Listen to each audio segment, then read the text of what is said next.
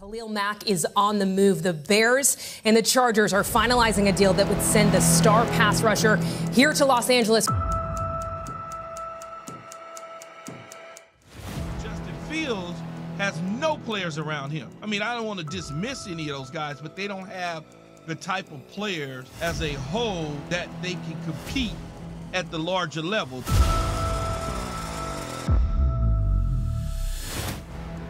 About Justin. Look, I know he's not really talking about this, but this football team around him, you tell me how they got better offensively to the point where he will then be able to just let his athletic ability shine. This could be an ugly year for Chicago. I, I just really think it could be.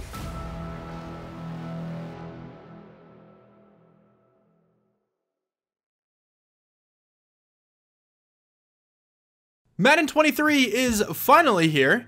Uh, I mean, well, it actually is with the, you know, 10-hour EA Play trial thing. I think the full game releases tomorrow if you pre-ordered the All Madden edition. If not, I think it's Friday that it fully comes out. And, you know, it's kind of been a tradition for my channel the past few Madden seasons to make my first upload of the season be like the introduction to my franchise. And my franchise team for this year the Chicago Bears. They suck. I suck at this game. This is going to be amazing. Now, if you're looking for a more self-contained rebuild, you know, like those one hour long, like potentially two hour long, depending on the team, uh, rebuilds that you see on YouTube by, you know, like me potentially, or like Bengal, C4, Jerome, all them. Um, you know, I do those as well. So if, if you want franchise content to look forward to, if you want to watch some franchise stuff on Madden 23, definitely consider hitting that subscribe button down below. I'm going to do my best to post as much Madden 23 franchise content that I can. But this is not going to be a rebuild like that. This is not just going to be like a, you know, three to five year, three to five season self-contained rebuild. It's going to be a much more longer term rebuild where I actually play all the games. I do my best to develop all the players as well as I possibly can. And the Bears definitely have a couple players who I'm very much looking forward to developing. So let's go ahead and start this franchise, which also means the return of my Madden alias. And that is certainly not John Madden. That is going to be your boy, Antho Shram Bush. Good old Antho Schrambush. You know, Bengals got Gene Dangus. I got Antho Schrambush, all right? We're, we're vibing over here. And this is certainly going to be on all Madden. I will definitely go through all these settings more so in depth later on. So I'm not going to spend too much time on them right now, but I definitely want tutorial pop-ups to be off, so uh, it doesn't keep telling me how to play the game. I've been playing Madden for a while. I think I kind of know what I'm doing at least with some franchise stuff. But let's go over the roster, and we're going to start here with the quarterback, Justin Fields. All right, so I want Justin Fields to do well, okay? I want to be able to develop him, and somebody needs to turn the lights on in, in the like the locker room here. Okay, they're slowly turning on. It's like somebody has like the dial in the corner, is just like really slowly doing it. Okay, whatever, it doesn't matter. I really want Justin Fields to develop into like an elite quarterback for me in this franchise. It's just that in all likelihood, he probably won't. I suck at this game, okay? I'm going to throw like 40 picks probably the first season. And that's to really not be good for his development long term. He does have star though, speaking of development, so maybe that can go up throughout the season. Um, maybe we can just play well with him, which won't happen. There's like a 7% chance, okay, that he actually goes up to superstar at the end of the season. The only way I'm to get him up to superstar is if we actually accomplish a breakout scenario. But, you know, if, if you're looking for somebody who's gonna like do really well in, in a franchise, like, you know, go like watch Jerome or something, I guess, because Jerome's actually pretty good at this game. Me, on the other hand, I have the reading level of like a toddler when it comes to reading defenses. But Justin Fields, 92 throw power, 83 deep, 82 medium, 85 short accuracy. So very good throwing ratings right here. We can definitely get by with this. Hopefully he's not like horribly inaccurate actually in the game. 80 throw on the run, 82 play action, 81 under pressure, 81 break sack, really not that bad. Like his throwing attributes, very solid. And then also he's very fast. 90 speed, 91 excel, 90 agility, 88 change of direction. I'm very bad at running with quarterbacks as well, but that's something I certainly want to get better at because I want to use Justin Fields as, you know, the entire athlete that he is. Not just somebody with a cool arm, you know? So hopefully we can at least use him uh, you know, to his maximum capabilities. But he seems like a very fun player to try to develop, a very fun player to, you know, play with. Pause but I'm not sure I'm going to be able to completely do that. I will do my best, but absolutely no guarantees. What I'm trying to say basically is that like I'm not putting it out of the realm of possibilities that I draft a quarterback down the line. David Montgomery then is the starting running back, 84 overall. You know, he's very solid. I just don't know how well I'm going to be able to do with him as well because he has 88 speed, 91 excel. I normally gravitate towards faster running backs. Um, but you know, he's very good carrying. He's not going to really fumble the football. Good agility, good break tackle, good juke, good change of direction. So we can probably get some use out of him. Um, I'm just normally better with running backs who are like way more explosive, but we'll kind of see what we can do with David Montgomery. Certainly not bad. One of the better players in the offense. Actually, the highest overall player on the entire offense. So hopefully I can, um, you know, play well with him too. And then we got Khalil Herbert. You know, Khalil Herbert was very good last year as a rookie. I want to get him kind of involved, but it's the same kind of deal with David Montgomery too. Um, you know, 89 speed, 88 excel, really not that fast. But we can try to use them as well as I possibly can. 93 carrying, pretty good running, you know, abilities as well. Khalil Herbert was great as a rookie, like, you know, what I just said. And then we got the man Darrynton Evans, or Darrynton Evans, however you pronounce it. You know, part-time YouTuber, part-time NFL running back. But yeah, if you didn't know, this, this, man has a YouTube channel where he plays Madden, does that kind of fun stuff, uses himself, I think. So definitely go check him out if you want to. Um, but, you know, he's more explosive. He has 92 speed, 91 acceleration, 91 agility. Maybe we try to get him involved as well. He definitely could carve out a role for himself if we need a more explosive runner down the line. But talking about explosiveness, we got Darnell Mooney. I'm very excited to see what Darnell Mooney brings to this team because 93 speed, 93 acceleration, very good hands, really good route running ability, 87 spec catch, 88 jumping. I'm trying to connect with this man on a deep level, not like a therapist or anything like that. I mean like a very far pass down the field. That was a stupid joke, but we're going to roll with it. Darnell Mooney, very fast receiver, by far the best receiving option, like at least in terms of the receivers on this team. Because, you know, Byron Pringle, he's only a 75, really nothing that special. Dante Pettis, same kind of thing there. We have N'Keal Harry. Let's go. We can actually try to do something with him. I kind of forgot that they just traded for him. Um, but he, he's still pretty young. Maybe we can get some some N'Keal Harry hype in here. That'd be kind of cool. But, you know, aside from Darnell Mooney, nobody who, like, I'm sure is going to be on the team this whole time. Darnell Mooney certainly will. Everybody else Maybe they can do something to impress me. I don't really know. Now, I'm not going to lie. I just recorded this video, but then I accidentally deleted the Audacity file from my you know, audio. And this is a different roster than what I just had before. I don't know if this one is more updated or if it is less updated. But that last roster didn't have N'Keal Harry in it. So I feel like this one's probably better.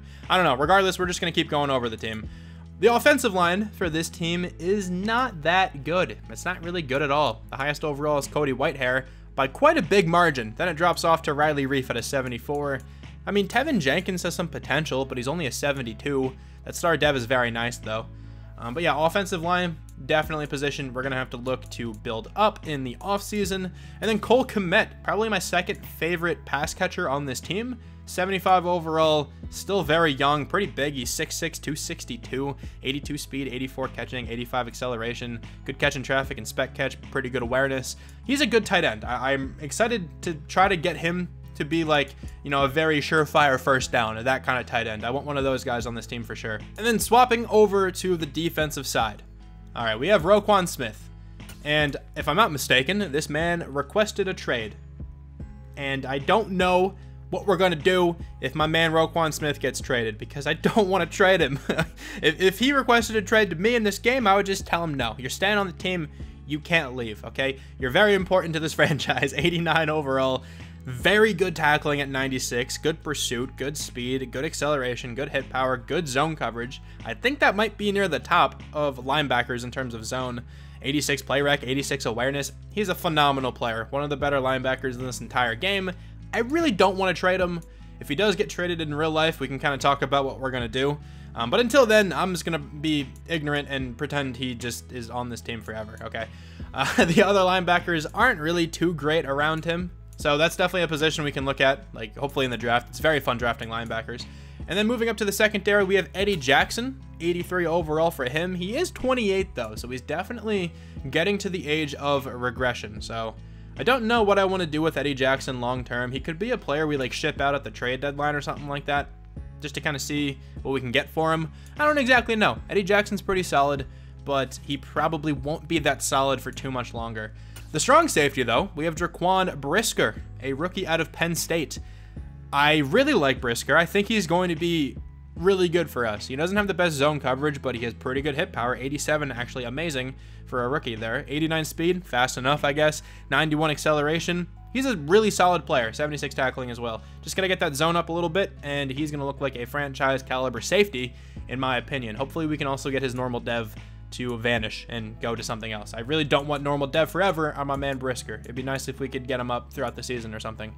Um, another player that I really wanted to try to develop, another reason why I wanted the Bears to be my franchise team, is number one cornerback here, Jaylon Johnson. Honestly, I thought this man was like 25 because he's been in the league for two years already, but he came in very young. He's still super young. He's only 23. Star Dev 82 overall. Not the fastest. That's like a trend with this secondary. The secondary really isn't fast. Um, but you know they have some solid pieces, I guess. Like you know Jaylon Johnson being one of them for sure. 87 zone, 88 press um, 81 man. So we can cover very well. He's just not going to be able to keep up, I feel like, all that well with like the faster, like the top end receivers in the NFL. So we might struggle in that regard. But he's somebody I certainly want on the team always. Like I want him starting for sure somewhere. And like Tavon Young, I mean, he's fine as a number two. I might get rid of him in a little bit though, like maybe even this episode. Oh yeah, we're gonna make a trade, at least one, at the end of this episode because I like having more than one first round draft pick. Okay, like I really like having two that's a good number to shoot for because I don't think it's super cheesy. Like, I'm not going to go out and get like seven. Uh, it's not super cheesy, but, you know, drafting is my favorite thing to do in franchise. And if I have two first round draft picks, it just, I feel like it just makes for a better franchise mode, makes for a better storyline and stuff like that in total. So Tavon Young might be leaving, but we do have a rookie, another rookie in the secondary, Kyler Gordon out of Washington. Another pretty slow player, but pretty good acceleration. I'll take it, I guess. 93 agility, 93 jumping, 72 man and zone. So we can kind of go either way in that regard.